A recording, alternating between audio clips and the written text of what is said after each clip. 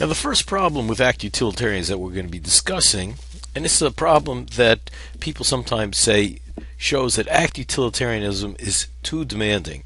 That is, it requires that you do things that are not morally obligatory, that are not morally required.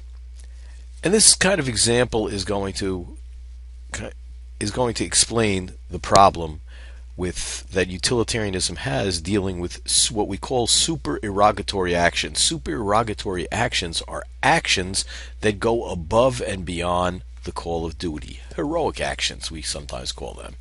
And now we can imagine um, that it's the day of the ethics final. Let's say it's in December. Juan, a student in the ethics class, takes a quick walk on the beach our campus is right on the beach after lunch.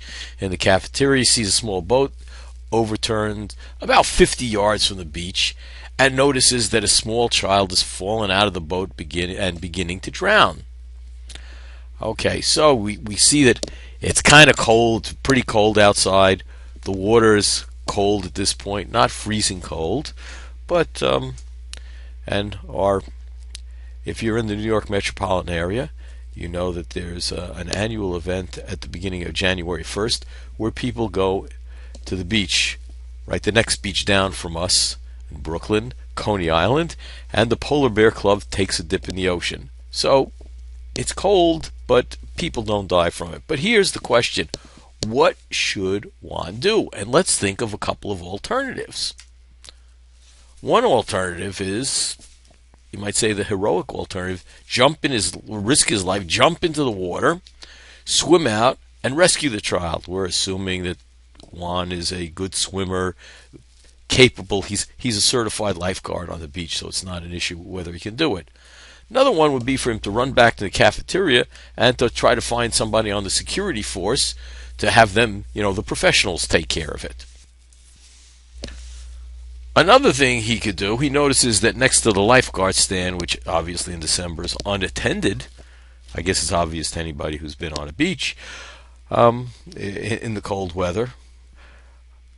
Walk over there, he finds this life preserver and kind of throws it out, makes an attempt to throw it out. Nobody can throw one, you know, 50 feet, 50 yards, uh, and hopes that for a miracle that the kid will somehow grab onto that and be drawn to shore.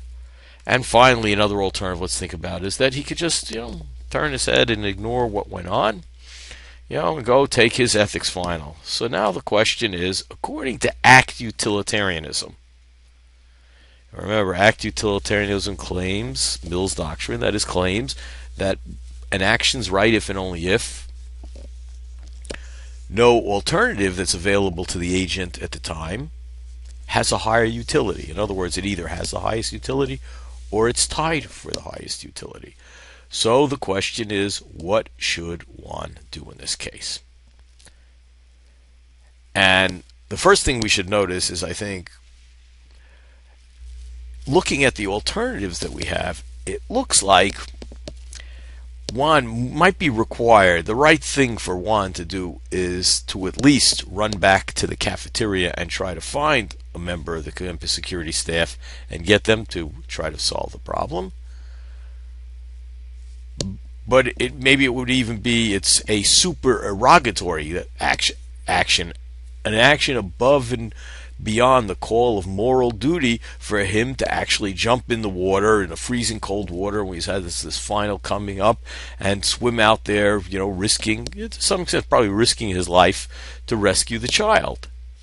But those seem to be the two in contention. But notice we would say at a bare minimum to meet his moral duty, he ought to at least go alert the security staff who's paid to do this, who's paid and trained to do this kind of stuff.